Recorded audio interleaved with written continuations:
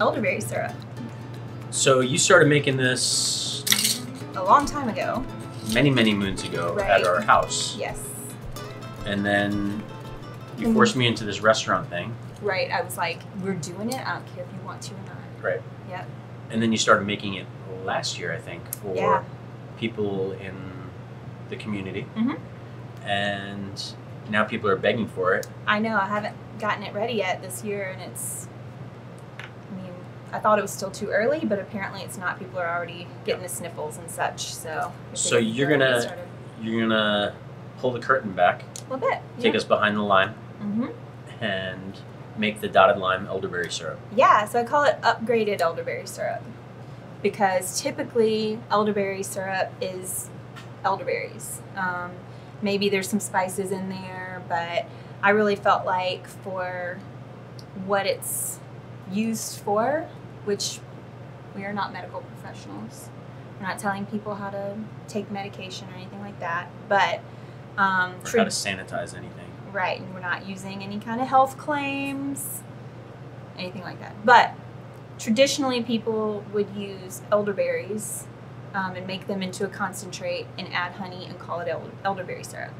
But um, I really felt like adding some of these other items was was really worthwhile. So, um, what we do here at the Lime, what I really do, because you don't make elderberry syrup.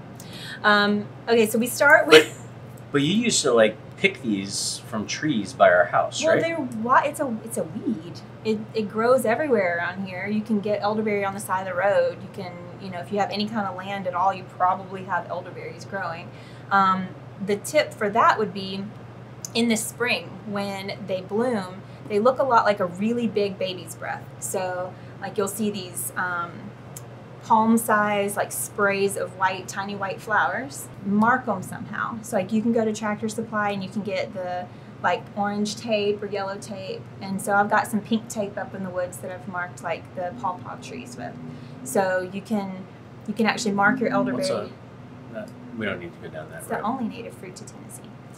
So you can mark your your elderberry shrubs, and then you come back in the fall when the berries are are full and ready to be picked, and they are where the flowers used to be. There's all these black, gold, like uh, shiny berries. But you didn't pick these. No, I bought these um, because we are selling them, and bought I? I buy commercially available organic. You haven't told me to do this, but I'm assuming they go in this pot they go in that pot.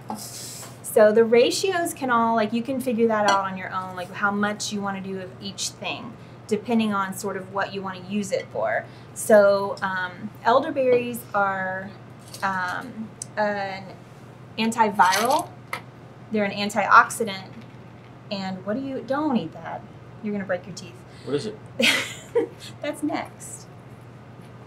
We're still on elderberries. Okay. okay. Antioxidant, antiviral, and you were- anti-inflammatory. So like Advil is um, a, a pharmaceutical anti-inflammatory. So elderberries would be a natural anti-inflammatory. So if I'm getting on your nerves, And I feel inflamed. then eat some elderberries. Right.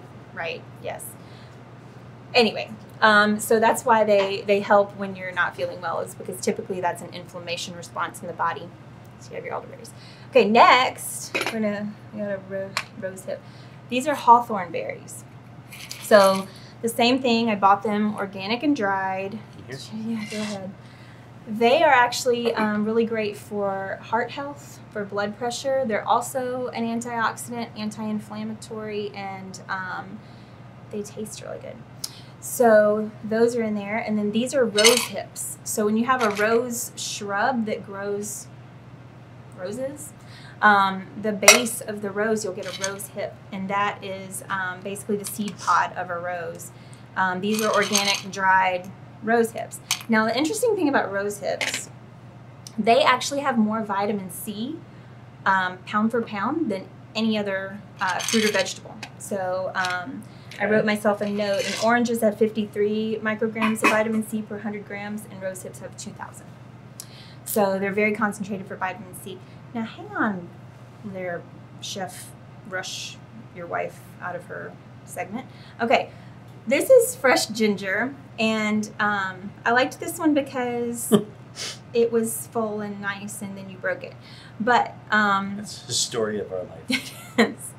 I had a thing and I liked it, and then he broke it, and this is why we can't have nice things. So um, I like ginger as a, an additive to the elderberry syrup because um, when you look at ginger, it sort of looks like a hand or like you know joints on the body, and it's really interesting to me how um, fruits and vegetables tend to sort of mimic the parts of the body that they help with. So, like when you cut open a carrot and it looks like an eyeball, carrots are good for eyesight. So, I thought that was pretty cool. So, these sort of look like a hand or some toes or something like that. They're why are you laughing at me? It's true. I'm just thinking of all the fruits and vegetables and what They're- they might help. There are some things that, that help things. Okay. Just saying. Anyway, ginger, um, is you know similar to like joints on fingers or, or toes or things like that. It's also really great anti-inflammatory. Um, but we're gonna we're gonna I'll let you kind of slice that up. Um, you're the chef. You, you knife things. So the active of it? ingredient. No, just like that much of it. Do you peel it? No, Why not? because we're not going to eat that and we're not worried about fibers and stuff like that. We just want the gingerol, um, which is the active ingredient in the ginger.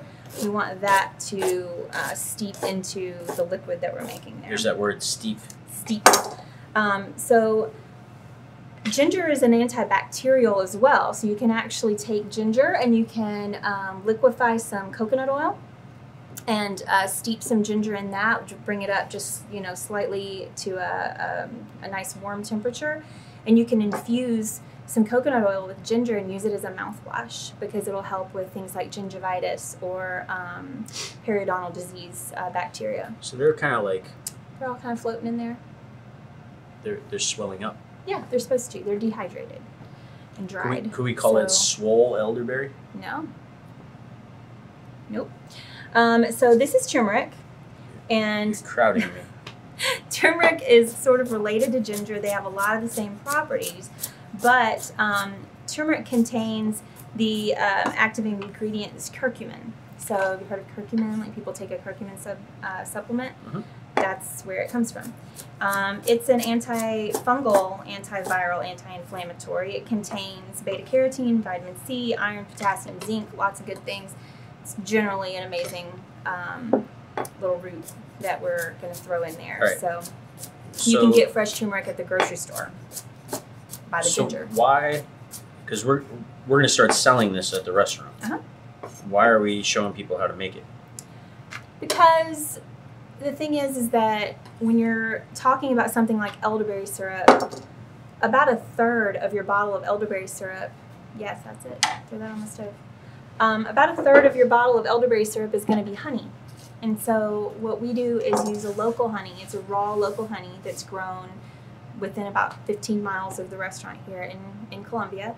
And the reason why we use a raw local honey is because the um, bees, the pollinators, have actually collected pollen from local plants that we have to this area, which is going to help with our inflammation response to those different pollination situations that we've got going on area. Right. So when people So they ask- need local honey to them. We need local honey to us. Okay. Okay. Yep. So that's on the stove. That's on the stove. That's it. That's all that goes in there. That's all that goes in there. Super easy. Yeah, not bad. I I add elder flowers, but just complete disclosure, I ran out of them with my massive batch that I did in the back. Um, but I really like to add elder flowers to that steeping mixture as well. So this is what was cooking. And how how long do you We cook it? steep it for 24 hours. So steeping is 24 hours. Slightly lower than simmer. So what temperature is that? Um, it is about um, 100 and 200. 209 209 Degrees. degrees at sea level. at sea level. so somewhere in the vicinity of that, you're gonna steep your elderberry Right. juice um, for 24 hours. Right. And this So- is This is um, okay. So you steep it for 24 hours on very low heat, right? Then you take your concoction and you cover it, and you go and you put it in your cooler. Your Refrigerator. refrigerator is what people have at the house. Um, you're gonna put it in your refrigerator and you're gonna let it cool all the way down. So um, You may have to transfer that into something smaller so that it cools a little faster. But um, ultimately, what And- you're wanting to do is to get it all chilled down to. And depending upon how you're doing it at home, Mhm. um, if you put it into a roasting pan, Mhm. that'll spread out the surface area so it'll cool down much much quicker because it's very important for any of the the fresh vegetables that are in here Mhm. that they're not in the That temperature danger zone. right. Yeah. So we want to get it down cool as quickly as possible. Mhm. So, So that's strained. and we've we've chilled this for a significant amount of time, just letting it sort of continue to steep in the you know in its stuff. Um, now the stuff that's left over, you can actually reuse that once. You're going to want to do a much more concentrated version with that because it has already been steeped once. It's sort of like reusing a tea bag. It's, you're not going to get the same strength the next time, but you can cook it um, again and just maybe for a little longer, um, a little less water. So this is now our elderberry concentrate. So I'm gonna pour a little. You a said little a, a third, right? Yeah, we're gonna make about a third of that and mix that with. That's about right. Right. So this is our concentrate. So a lot of times people will ask me about babies that are under a year old um, because this does contain raw honey. And with um, infants, the recommendation from the AAP is that they don't consume raw honey under a year old. Um, I don't have a problem with honey being in other items that children are eating, like babies are eating, like a cookie or something like that. So this is strictly for raw honey. And since we are adding the raw honey to a cold liquid, there's a reason for that too. I didn't want to heat the honey and destroy the beneficial bacteria, the micro flora stuff that's in the raw honey. So you're adding uh, raw honey to a cold liquid, which doesn't make it really fun to stir, but it will eventually dissolve and sort of disperse itself into the liquid, but you're going to want to shake it up. So we're doing about a third, that's probably good, about a third honey um, to two thirds of the elderberry concentrate. And what I was saying about the babies is if you just wanted to use the concentrate, you can mix it with something else. You can use agave, you can use uh, apple juice concentrate, something to kind of sweeten it up a little bit because it is pretty um, pretty strong.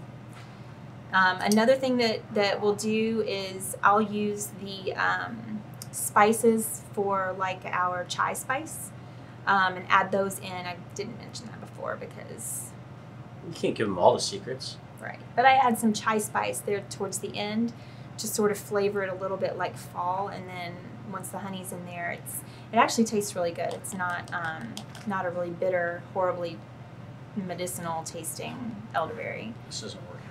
You need a bigger spoon.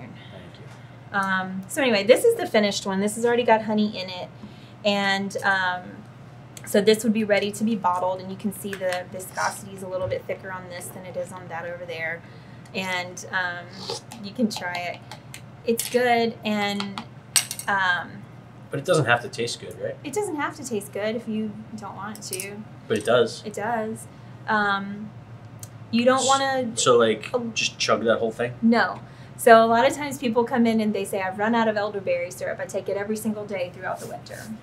You might be able to get away with that, but you don't want to do that. Um, these ingredients are very powerful antivirals and anti-inflammatory agents, and so you can cause some issues in your body by taking those things all of the time. Um, they call it a cytokine storm, and it sounds really ominous and like. It actually sounds fun. So you don't want to start a cytokine storm. Um, but anyway, so you want to do one week on, one week off throughout the winter. If you do feel like you're starting to get sick, you can. Um, our handy dandy assistant over here has passed us a real live spoon, so you can stir that up. Um, so you can um, take this one week on, one week off. But if you feel like you're starting to get sick, you can take um, a tablespoon, tablespoon and a half every three hours throughout your waking hours of, of the day All right. until you feel better. So, I'm a bullet point guy. Yeah. Give me the bullet points. Elderberries. Organic, organic, uh, dried, organic dried elderberries, uh-huh. hawthorn berries, some sort of berry, some sort of rose hips, swole rose hips, ginger, ginger, turmeric, turmeric, water, agua. yep, and local, Local raw honey. honey. Cook it. hmm Simmer, Don't boil it. right? 209 degrees at sea level, Whole day. whole day, and then cool it. Yep. Quickly. Yep. mix it with the honey. Once it's cold, mix it with the honey because you don't want to cook your raw honey. Sixty-six percent, Something like that. To Good. taste. I mean, you, do, you don't have to do Okay. a third and two thirds. and then you do 3 don't- fourths, one don't give your baby raw. Don't give your baby raw honey. That's it. That's it. Cool. Easy peasy.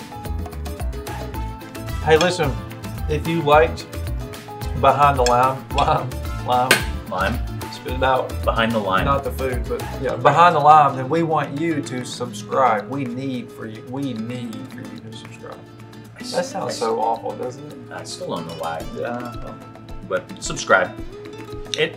You know what it does? It just feeds our Your ego? my ego. There you have it. Feed, it just feed subscribe. Feed my ego. You got the last word. No, I didn't.